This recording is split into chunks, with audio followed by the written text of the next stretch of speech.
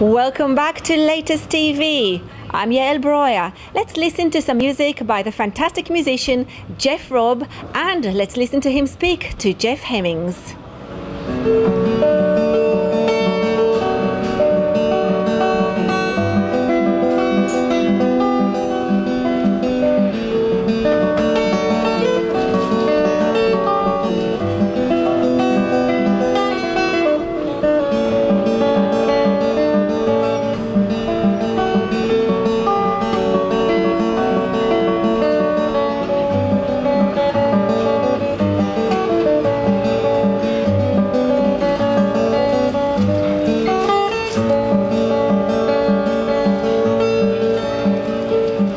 I'm here at the Warren with uh, Geoff Robb, uh, who's playing a couple of shows as part of the Brighton Fringe Festival this year.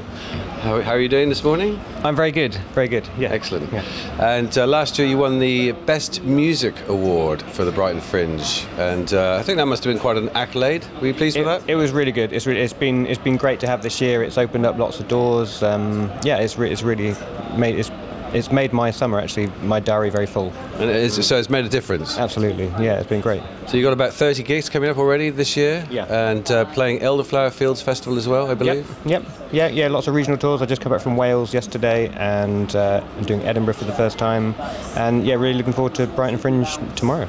I've seen you play a few times. Basically, you're an instrumental acoustic guitarist, play steel and Spanish guitar, and you kind of fuse it into some kind of world fusion. How would you describe what you do? It's quite hard to describe in that sense. Um, my background is classical training and jazz training, um, but I love Celtic music as well, so I bring those together. But the show I'm doing at the moment is called The Music of Trees.